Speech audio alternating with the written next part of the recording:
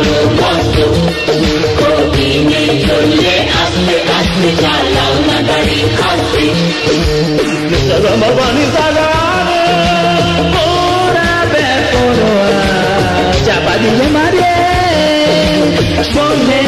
কথা মানে না কথা বড় হে মস্ত মস্ত তুই চিজ বড় মস্ত? তুই চিজ বড় হে মস্ত মস্ত, তুই চিজ বড় মস্ত?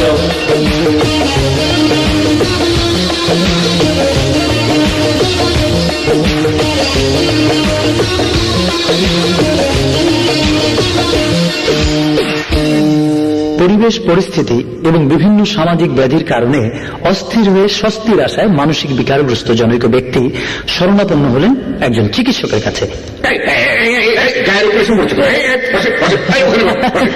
ডাক্তার সাহেব ডাক্তার সাহেব আর পারি না সেভ নাম কি? নাম নাম ডাক্তার সাহেব বিভিন্ন নাম আছে আপনার আমি কোনটা কমু? তার মানে? মানে এই পাগল ঢিলা স্ক্রু লুজ মাথা খারাপ ইত্যাদি বিভিন্ন নামে আমার সবাই ডাকে।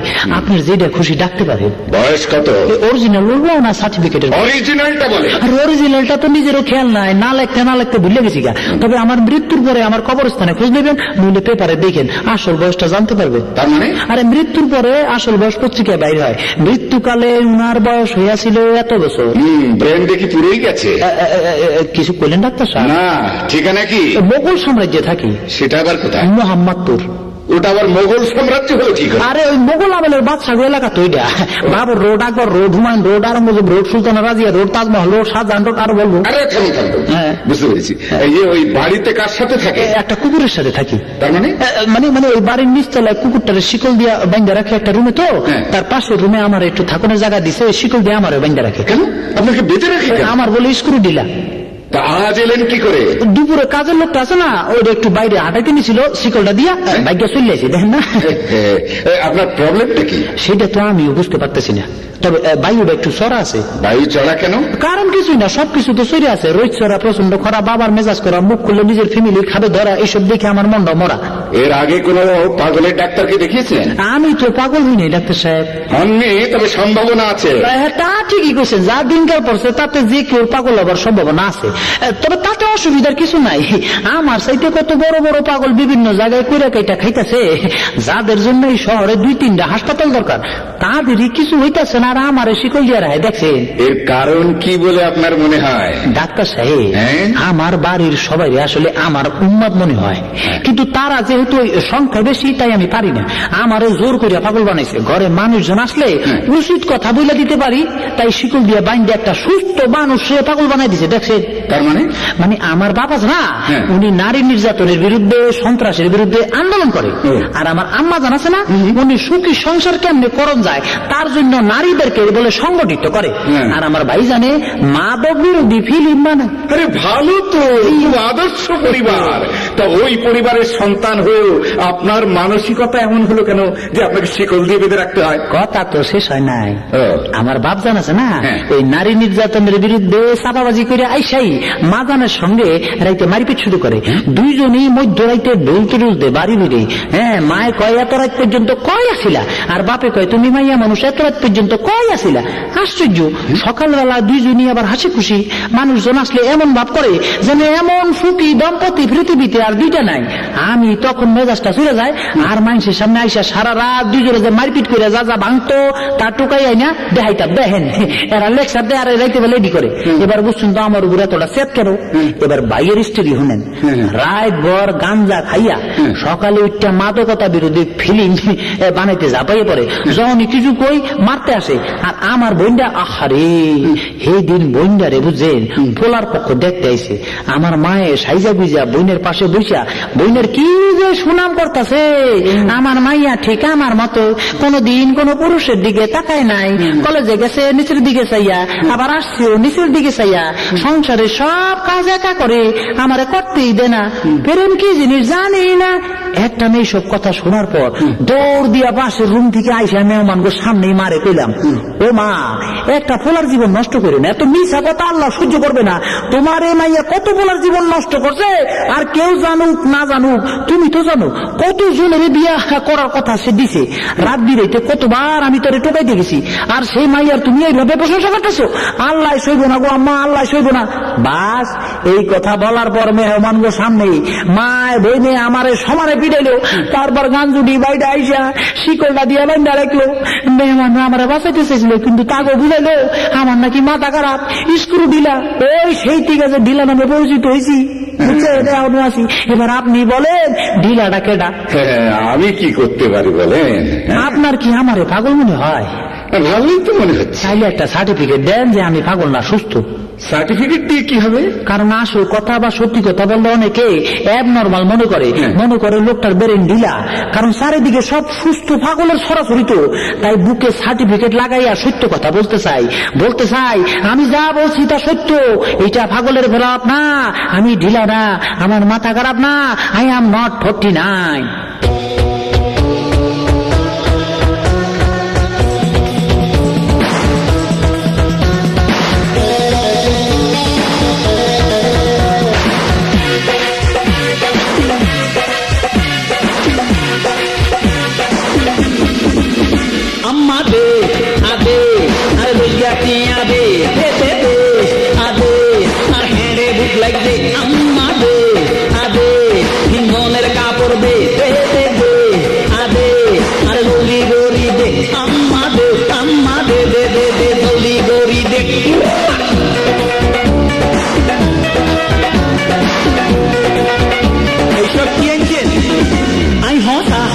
হানি বাত খাই না পিরা হাড়া কাপড় করি না বিজ্ঞান নিয়া দি কি করু একাই দেখি লাগে যে সরব ভিক্ষাকে ছাড়তে পারো না আম্মা আম্মে কিয়া কইলেন হুদা হুদা আরে হাসাইলেন আরা কম বেশি সব ফকির খালি নাম হয় যে ফকিরের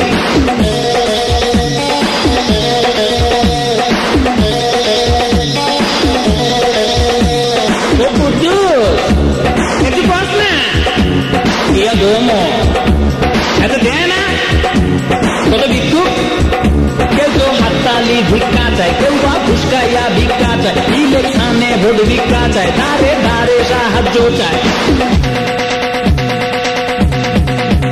আম্মা দে আদে আর দরজাটি আদে আম্মা দে আদে আর হেঁড়ে বুক লাগবে আম্মা দে না আর ভিক্ষে নয় আবারও প্রেম অনেকদিন ধরে যোগাযোগ নেই, তাই গ্রামের সহজ সরল প্রেমিকা শহরে আসা প্রেমিককে চিঠি লিখেছে।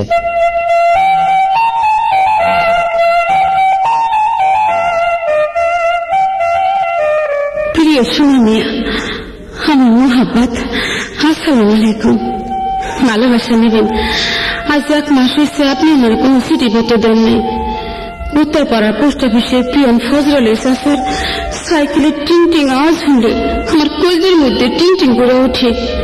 দৌড়তে ছুটতে যায় যদি আপনার চিঠি পাই, কিন্তু না, কত মানুষের সিডি আহে, তো আমার সিডি আহে না। আমি বুঝছি, দেখা গিয়ে আপনার চরিত্র নষ্ট হয়ে গেছে।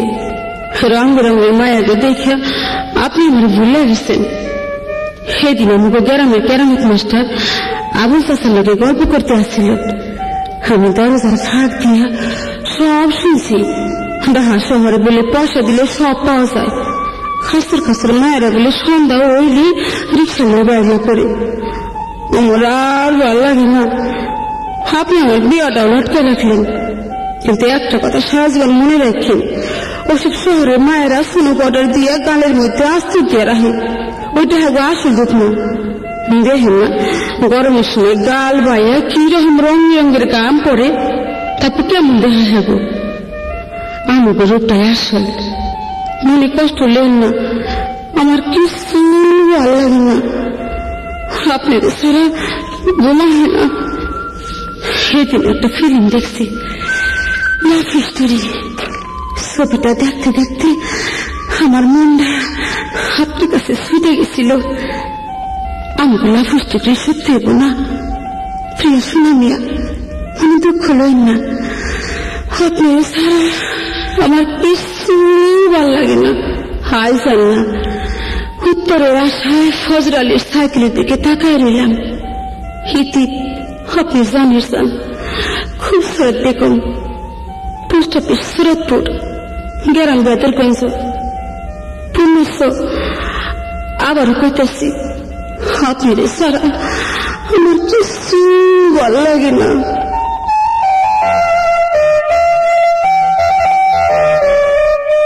এবারে শহর থেকে প্রেমিক তার গ্রামে থাকা প্রেমিকাকে উত্তর দিচ্ছে।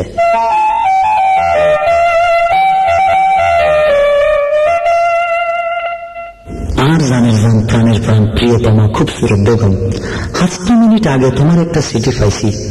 কি যে ভালো লাগছে তা আমার মতো অশিক্ষিতের পক্ষে লিখে বোঝানো সম্ভব নয়। মনে হলো আসমানের ঠাড়া ভাঙ্গা রোদের মধ্যে বগুড়ার দই মিশিয়ে কে যেন আমার এক গ্লাস লাসি সবেত খাওয়াইল। তোমারে কেমনে বুঝাইতাম? তোমারে ছাড়া আমার কিছু ভালো লাগে না। তুমি আমার মাধুরী দীক্ষিত, তুমি আমার কারিশমা, তুমি আর শীষ বড় মস্ত মস্ত।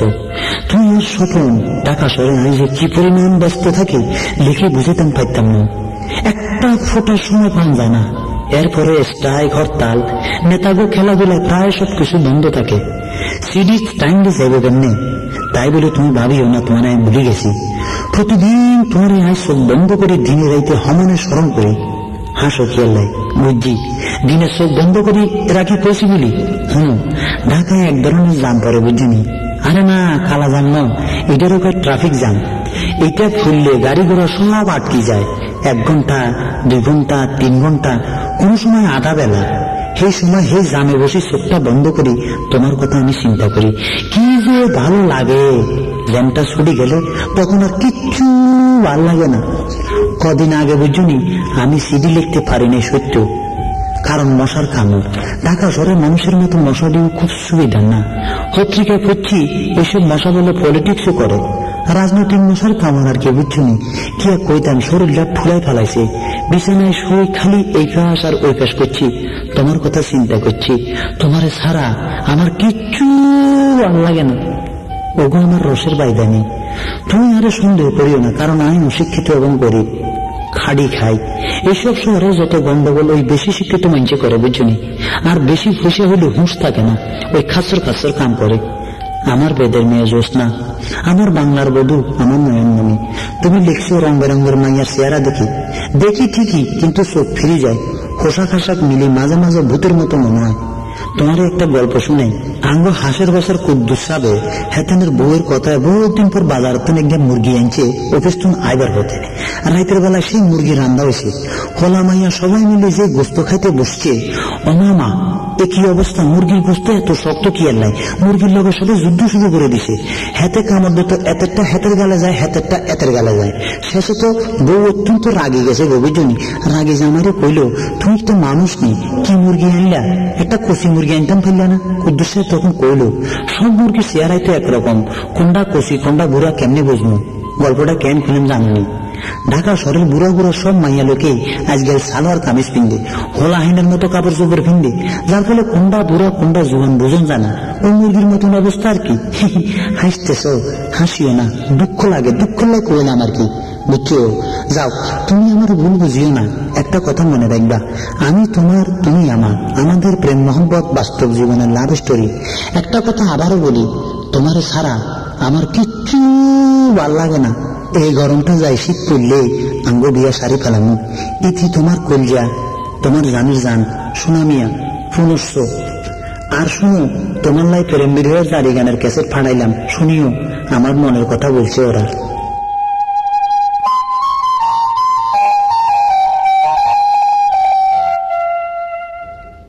এক কোটি টাকা পেলে কি করবেন? এ প্রশ্ন অনেক সময় অনেক পত্রিকায় বিভিন্ন বিশিষ্ট ব্যক্তিদের করা হয় তাদের ইচ্ছেগুলো জানার জন্য। আমরা আজ এমন একজন বিশিষ্ট ব্যক্তিকে আমন্ত্রণ জানিয়েছি আমাদের স্টুডিওতে, যার নাম হচ্ছে আব্দুল শক্কুর ভাগ্যবান। তার কাছ থেকে জানতে চাইব এক কোটি টাকা পেলে তিনি কি করবেন? আচ্ছা ভাগ্যবান সাহেব ধরুন লটারিতে এক কোটি টাকা পেয়ে গেলেন তা দিয়ে আপনি কি করবেন? প্রথম কথা হচ্ছে যে খুশি সরে আমি হার্ট ফেল করতে পারি জি জি। আর যদি হার্ট ফেল না করি তাহলে সাথে সাথে ডাক্তারের সঙ্গে দেখা করে ফুল বডিটা আমি একটা চেক আপ করাবো। কারণ এই খুশির ধাক্কায় আমার শরীরের ভিতরে ইন্টারনালি কোন রকমের গন্ডগোল হয়েছে কিনা?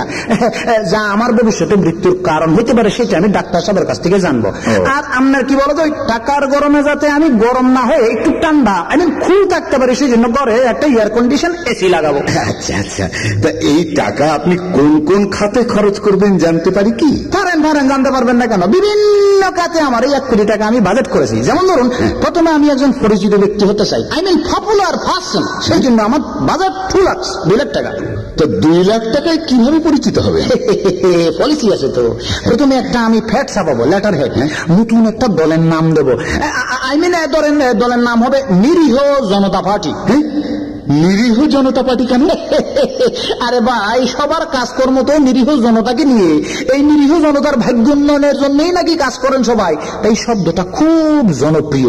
লেটার হেডে এই পার্টির নাম চেপে আমি বিভিন্ন কাগজে নতুন পার্টির আত্মপ্রকাশ নামে কিছু প্রেস রিলিজ দেবো। তারপরে স্থানীয় শিক্ষামারা যুবকদের কিছু মালফানি দিয়ে ঢাকা শহরের বিভিন্ন দেয়ালে অ্যাকসেপ্ট মাই দেয়াল আর কি নিরীহ জনতা পার্টির নেতা ভাগ্যবান ভাই দীর্ঘজীবী হোক ইত্যাদি শিক্ষা মেরে হোস্টারে হোস্টারে পুরো এলাকা সেরে ফেলব। এরপর ট্রাক মিছিল সভা সমিতি আমরা রাজ্যের বেলা মশা মিছিল ইত্যাদির ব্যবস্থা করব। তারপর দেখবেন মোটামুটি আমি পরিচিত হয়ে গেছি। তাতে যদি না হয় সেজন্য আমি কোরবানির ঈদ পর্যন্ত অপেক্ষা করব। কোরবানির ঈদ কেন? আরে ভাই, সেই সময় গরু হাটে যাব এবং সবচেয়ে দামি গরুটি কিনবো। তখন পত্রপত্রিকা এই দামি গরুটির সঙ্গে দামি হবে। একদিকে গরুর ছবি আর একদিকে আমার ছবি। সুতরাং আমি হয়ে যাব দামি গরু কেনার জন্য ধনাঢ্য ব্যক্তি। আর যিনি ধনবান, তিনি তো বলবান, কি বুঝলে? ও, বুঝতে পারলাম বুঝতে পারলাম। কিন্তু এ তো গেল মাত্র দু লাখ টাকার হিসেব। বাকি টাকা? সব সময় কিছু টাকা পকেটে রাখব যাতে সাদাবাজ মস্তান ছিনতাইকারী চাহিদা মাত্র দিতে পারি। তাহলে এদের হাত থেকে আমি বাঁচতে পারব আর বাড়ি গাড়ি তো করব এরপর কিছু টাকা আমি কয়েকটি পরীক্ষায় আই মিন এক্সপেরিমেন্ট করার জন্য খরচ করব। কি ধরনের এক্সপেরিমেন্ট চাটু শিল্পের উপর। চাটু শিল্প চাটা শিল্প আর কি এটি একটি পুরানো শিল্প। তবে ইদানিং এই শিল্প আমাদের দেশে খুব ডেভেলপ করে গেছে আপনার ধরেন আমি বেশ কিছু সাটুগার মানে সাইন্সিয়া সাইন্সিয়া নিয়োগ করব আর কি। ভালো স্যালারি দেবো হ্যান্ডসাম স্যালারি দেখব ওরা কি পরিমাণ আমাকে সাইতে পারে মানে সাটুগারি করতে পারে মানে প্রশংসা করতে পারে। এদের প্রধান কাজ হবে আমি যা নই তার সে বাড়াইয়া মানুষের কাছে আমার গুণগান করা। এদের কাছ থেকে অভিজ্ঞতা অর্জন করি এই টাকায় ভবিষ্যতে আমি বাংলাদেশে চাটা শিল্পের ভবিষ্যৎ নামে একটি দশ পরমার পুস্তক প্রকাশ করব। ও আর বাকি টাকা? হ্যাঁ, বলছি ইন্টারাপ্ট করবেন না। কিছু ভাড়াটিয়া মস্তান এবং রিনাউন মস্তানকে দৈনিক ভিত্তিতে আমি নিয়োগ করব। তারপর বিভিন্ন এলাকা একটু গন্ডগোল্লার জমির পজিশন নেব। এরপর অ্যাপার্টমেন্ট বানাবো। তারপর উপরস্থানীয় কিছু ব্যক্তিকে দুই তিনটা ফ্ল্যাটের গর্বিত মালিক করে নিজে পুরো অ্যাপার্টমেন্টের গর্বিত মালিক হব। যে কোনো সময় তো বিপদে পড়ে যেতে পারে। করব না করব না। কারণ আর্ট কালচার আপার লেভেল এবং বুদ্ধিজীবী লাইনের কিছু কিছু ব্যক্তিকে নিজের হাতে রাখব। রাতে এদের দাবাত করে এনে খাওয়াবো এবং খাওয়ার পরে লালমানির আয়োজন করব। বিপদে আপদে ওরা আমাকে বক্তৃতা বিবৃতি এসব দিয়ে সেভ করবে। নিজের পরিবারের জন্য কি করবেন? দেখেন এই আমার স্ত্রী সবসময় টেকা টেকা টেকা টেকা টেকা টেকা করে। তাকে আমি দুই তিন লক্ষ টাকা ধরাই দিয়ে মার্কেটে পাঠাই দেবো। তারপর একজন ভিডিও ক্যামেরাম্যান ঠিক করে বলব ওকে ফলো করো। দেখব সেই টাকা দিয়ে কি করে কি কিনে এবং কেমনে কিনে হ্যাঁ? এর পরে কি প্রজেক্ট পত্রিকা বের করব। তো হঠাৎ পত্রিকা কেন? অনেক জনগণেরই আপনার এই ধরনের একটা বাতিক রয়েছে। আমার খবর কেউ না ছাপালেও আমি নিজেই নিজের কাগজে নিজের খবর ছাপতে পারব। এছাড়াও বিভিন্ন উপরি মহলে এজ এন এডিটর দাওয়াত পাবো সবাই নিজেদের কুকীর্তি ডাকার জন্য এবং সুকীর্তি জাহির করার জন্য এক স্লিপ নিউজ ছাপানোর জন্য আমার কাছে রিকোয়েস্ট নিয়ে আসবে। পত্রিকার জন্য ভাবা নিউজ প্রিন্ট আমি বিক্রি করব। এতে পয়সাও আসবে ব্যক্তিত্বও হয়ে উঠবো। নেক্সট নিজের নামে একটা ফুটবল টুর্নামেন্টের আয়োজন করব এবং প্রতিভাবান ব্যক্তিদেরকে আব্দুল শুক্র স্মৃতি পদক দেওয়ার ব্যবস্থা করব। মৃত্যুর আগেই এ ধরনের স্মৃতি পদক দেবেন একটু বেখাপ্পা লাগবে না? আরে ভাই সাহেব কোন জিনিসটা বেখাপ্পা লাগে না? তবুও তো চলতেছে। আর সবাই মৃত্যুর পরে দেয় বলে হ্যাঁ, দেখে যেতে পারে না। আমি দেখে যেতে চাই। তা আপনার নিজের ওই আনন্দ ফুর্তির জন্য কিছু করবেন না? করব করব। ফিতা কাটার শখ আমার বহুত দিনের। আচ্ছা। বিভিন্ন প্রতিষ্ঠানে আমি ডোনেশন দিয়ে উদ্বোধনী অনুষ্ঠানের ফিতা কাটবো। ফিতার রং অবশ্যই লাল হইতে হবে। কারণ এই লাল ফিতা কাটার শখ আমার আবার বহু দিনের। তা আপনি কি মনে করেন আপনি যা যা বললেন হ্যাঁ? হ্যাঁ। তা থেকে দেশ ও জাতির জন্য কিছু রেখে যেতে পারবেন কি যে বলেন? আর কিছু থাকবা না থাক আমার নিরীহ জনতা পার্টি থাকবে অতীত হইলেও সবাই বলবে সাবেক নিরীহ জনতা পার্টির নেতা অমুক ভাই। আরে ভাই কাম দিয়ে কি এসে যায়? নাম থাকলেই তো হলো। সবাই তো ওইটাই চায়। আরে ছোট্ট একটা কৌতুক বলি শোনেন। একজন বয়স্ক নেতা আর কি যার চোখের খাবার কম হ্যাঁ?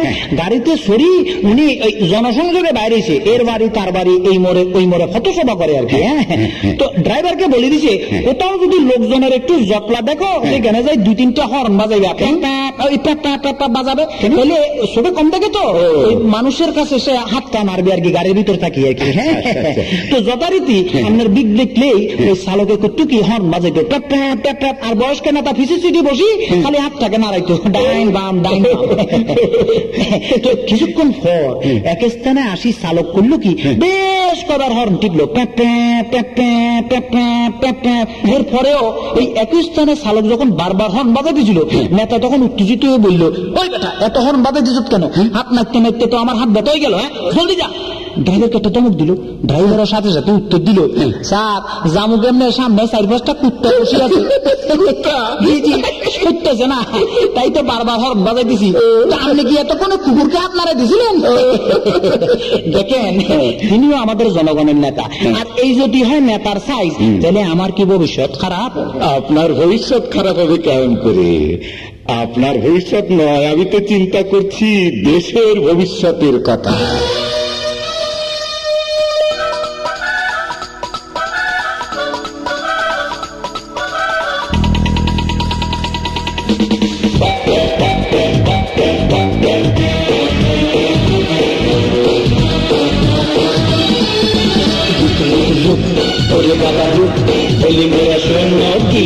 rup, rup, rup, rup, করে বেলা ধূপ বলি মোরা শোন গিরাস লোক গলা বলি গোলা বলি করো মাহা জানি পারো হবে যদি পারো বাহার গলা বলি গোলা বলি করো না জানি পারো হবে যদি পারো বাহার গোসা কেন তোরলা তোরলা কাপে বুকা টুক টুক টুক লাভ লাভ লাভ লাভ লাভ লাভ সবাই ভালো না লাভ লাভ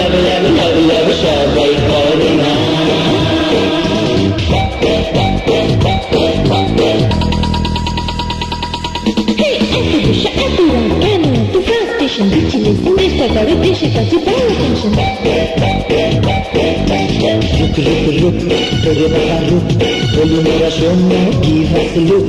Gola Golimaya, Gola Goli, Gola Golimaya, Gola Kuli, look before. Look, Perimaya, Asbe, Shuk,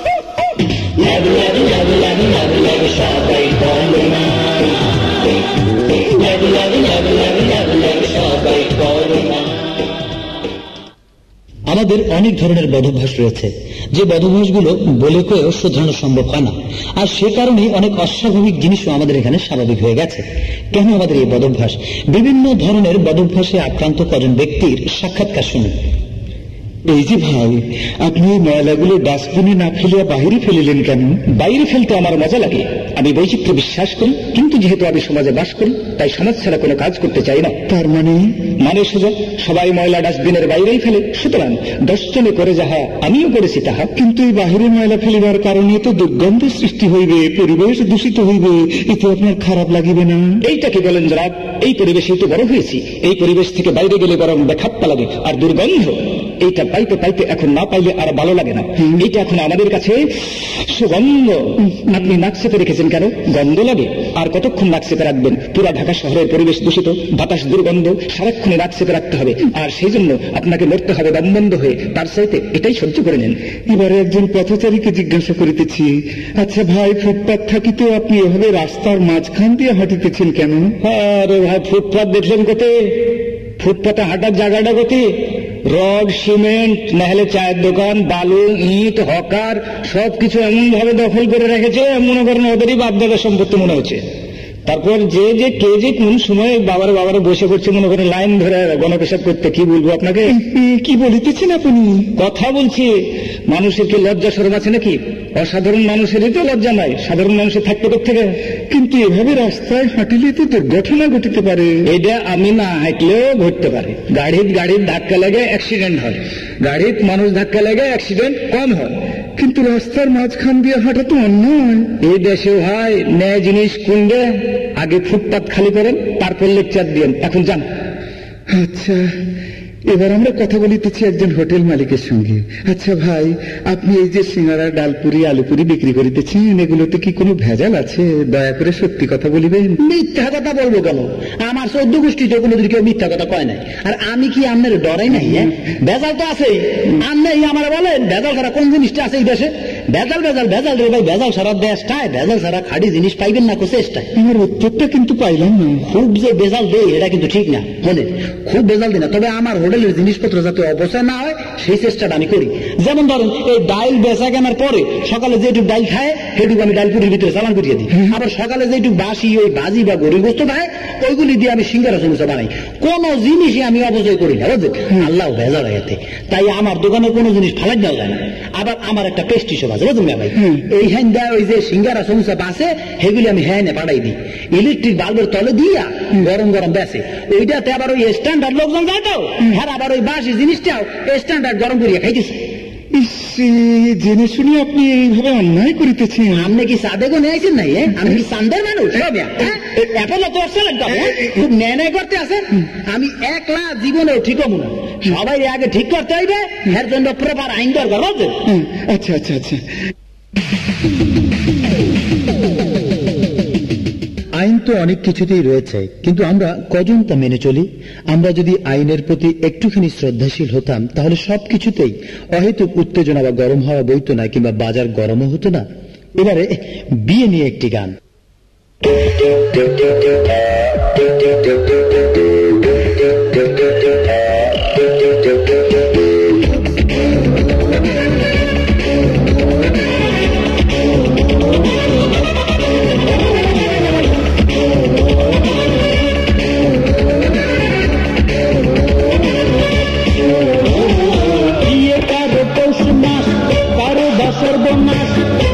এ কথা সবারই জানা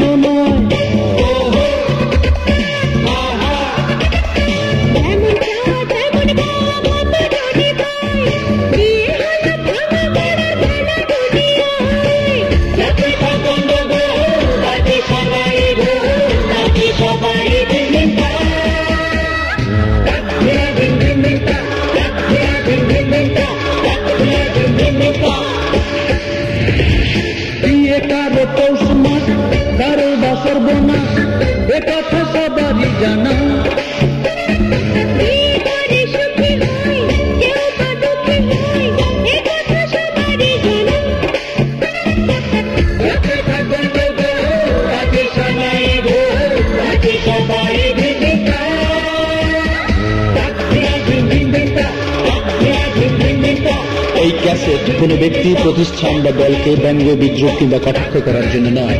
এগুলো আমাদের অজান্তে কেউ যদি দুঃখ পান, সেজন্য আমরা আন্তরিকভাবে দুঃখিত। আরেকটি কথা, অহেতুক বাজার গরম করবেন না। আপনাদের সবাইকে শুভেচ্ছা, ভালো থাকুন, সুস্থ থাকুন।